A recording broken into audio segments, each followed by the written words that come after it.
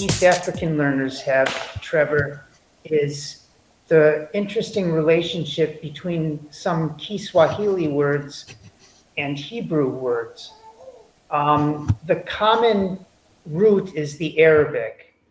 And as we know, the Arab, Arab traders came down the eastern seaboard, uh, Somalia, Kenya, Tanzania, trading and establishing themselves along the coast.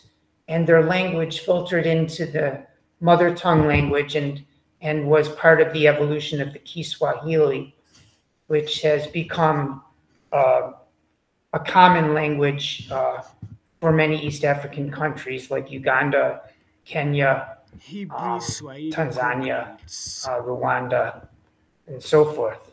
I'm not Uganda so much, I guess, so forgive me for that. But it's a lot of fun if you listen carefully to hear this relationship between Hebrew words and Kiswahili words. Uh, for example, in Hebrew, we have the word for gold. Together, everyone, zahav. Trevor, zahav. Zahav. Zahav. Listen carefully to the Kiswahili, dahabu. We have, uh, can you hear some similarity there? Zahav, dahabu. Yeah. Nice. The Hebrew word for hour is sha'a. Together, sha'a. Sha'a. Sha'a. And our Kiswahili cognate is sa'a, which means the hour. Actually, I guess you pronounce it sa, means hour or time. Yes. Right. Sa. Joseph, would you would you like to continue leading us in these cognates kindly?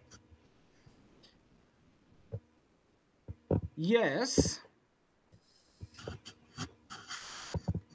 We have the Hebrew word shul. In Swahili, it is shule. Together, for school. Uh, nice. Shul.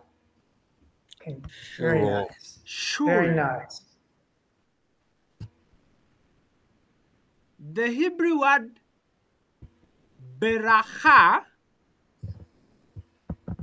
in Swahili it is baraka or blessings. Uracha. Beracha. Baracha. Nice. The Hebrew word kibail in Swahili kukubali. Kibel.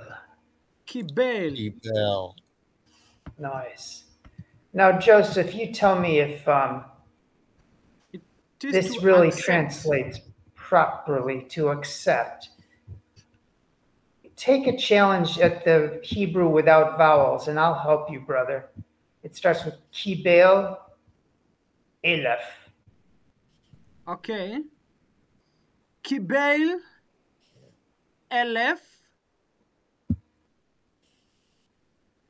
Brachot, Mimeni. Very nice. Would you like to take a shot at that, uh, Trevor? We have the English written out of the Hebrew. Kibel, elef, brachot, mimeni. Kibel elef brachot Mimeni. Very nice. Now, now, Joseph, be be honest with me. Is this a fair Kiswahili translation, or would you not see this? It is uh, fair Okay. kukubali baraka elfu kutoka kwangu. We can just remove the double K to have kubali baraka elfu kutoka Ah. kwangu. So a proper infin a proper imperative, a Yes. command would would be. I got you. Hold on a sec.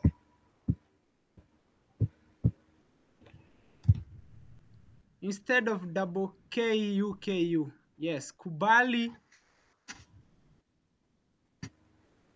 Accept a thousand blessings from me.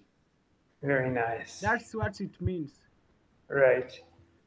And I do, I do, Pastor. I accept a thousand blessings from you. Thank you.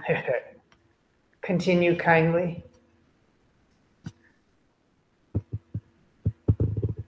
The Hebrew word mizman is pronounced the same as Swahili word zamani Uh-huh. to means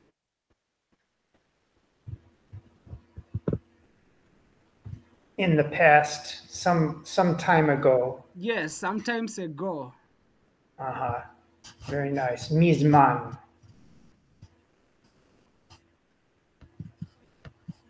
Continue. Scroll down. Well, oh. Do you have it? Yes, we have add.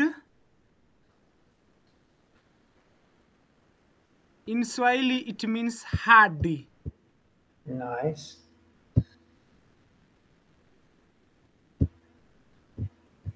Until or up to something like that. Yes.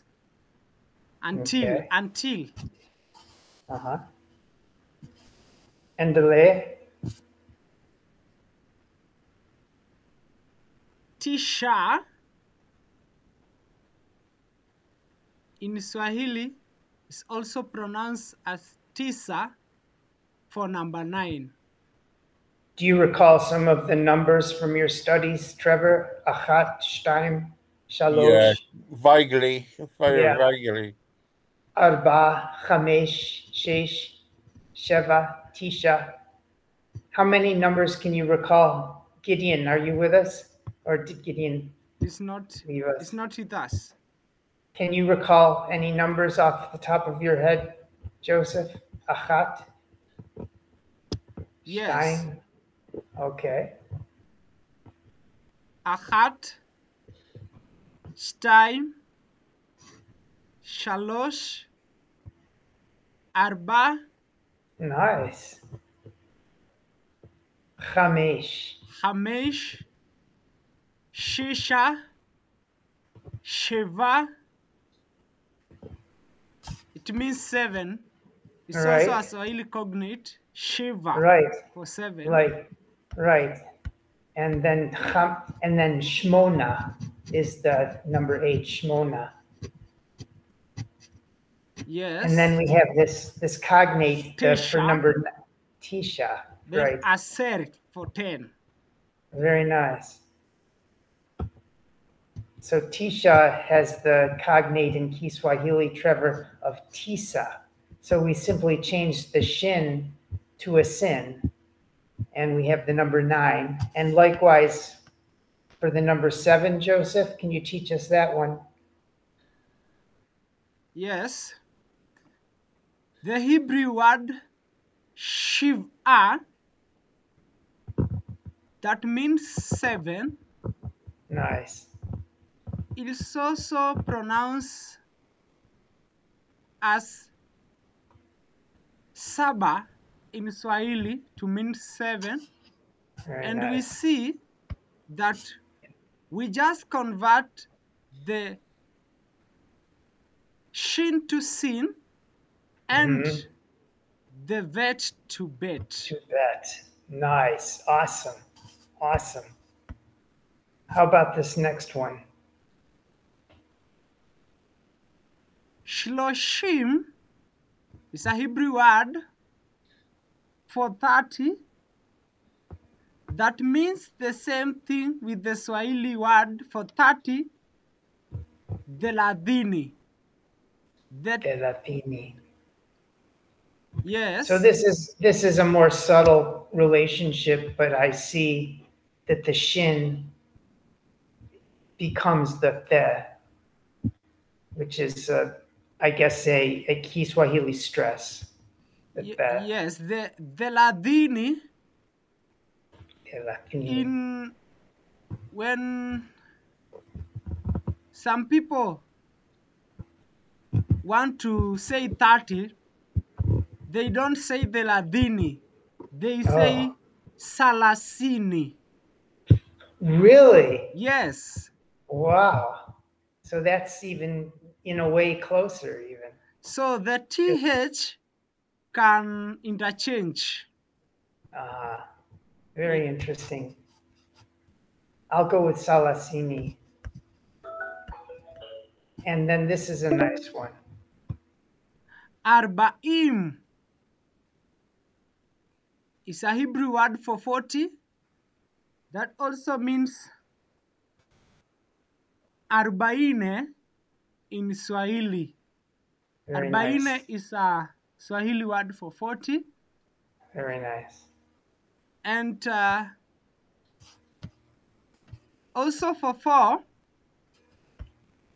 Yeah. we have a Swahili word uh, arba for four. Do we? Yes. Oh. We have a Wow. Swahili word arba for four Uh-huh. and uh, arbaine for 40. Hold on a sec. Let me You can add it there. yeah, let me add it. We have actually the Google is warning me that um we're out of time. I'll I'll add it later, but that that'll that'll take us uh, very far and beautifully presented, Joseph. I'm very grateful for that. Uh, we'll look at more of these cognates as a way to use our ears and to uh, connect with the Hebrew through the Kiswahili. Um, so it's, it's very helpful to also do conversational exercises where we're engaging our ear and not only, you know, reading off the page. It's a different way of, of exposing ourselves to language. But that's a lot of fun. I love these cognates and we'll do more with those.